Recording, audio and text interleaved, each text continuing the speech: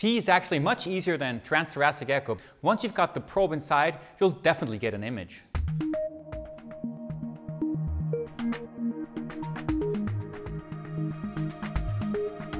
What we do is we show you small little tricks that will make your life when you perform TEE much easier.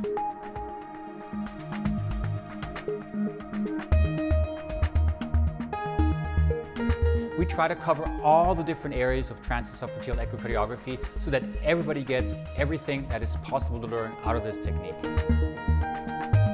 We collected thousands of images over the years and we present them to you in this course. All this will help you not only in making the diagnosis, but also in deciding what the best decision is to treat the patient. This TEE course is for cardiologists, for intensivists, and anesthesiologists alike. Anna, do you think we did a good job?